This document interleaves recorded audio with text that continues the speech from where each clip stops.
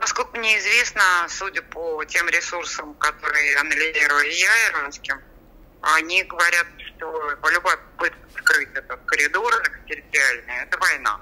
Все открытым текстом. Официальное заявление руководства КСИР, корпуса Стражи Исламской революции. Война, боевые действия. Пока не могу сказать, какой интенсивностью, но боевые действия. Посмотрим, смогут ли решиться, сможет ли решиться турецко-азербайджанский тандем на то, чтобы а, спровоцировать Иран на боевые действия.